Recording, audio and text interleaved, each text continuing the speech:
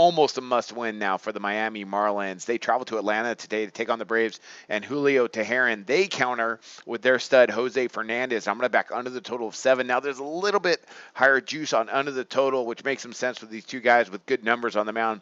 But I like for uh, this to be a really low scoring affair. I think both these guys should come out with some quality starts today. Let's start breaking this down. Let's take a look, uh, closer look at this one. We got Jose Fernandez getting the start for Miami again versus uh, Julio Teheran. Let's take a look at it. Uh, Teheran first. He comes in for the Braves, 3.01 ERA, 1.03 WHIP five and nine record has not got really much help this season. Now against Miami, he hasn't pitched particularly well. You know, allowing eight earned runs in uh, 12 innings. Uh, but for the most part, when you look at him over his last uh, five starts, outside of one bad outing uh, against Arizona, I mean, his other four games, he's been fantastic. You know, so he has the ability to come in and really just put up a lot of zeros. So with Fernandez taking the mound for Miami, I think in that combination, both these guys are going to pitch really well today. Look for Teheran to have just an outstanding ball ball game against you know a Miami team that's that could be really hot and cold at the plate. Atlanta offensively, they're one of the worst in the major leagues.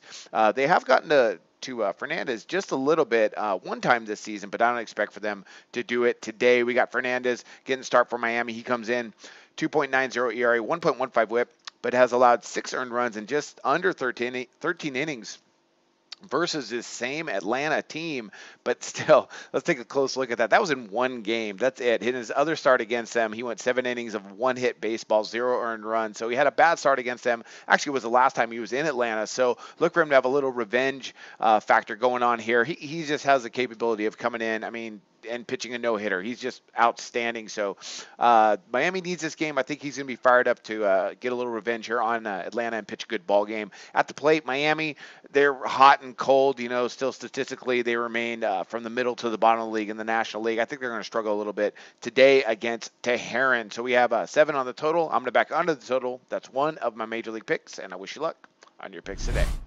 Research before you bet. Be sure to check out SBR Picks for the best game predictions, breakdowns, and much, much more.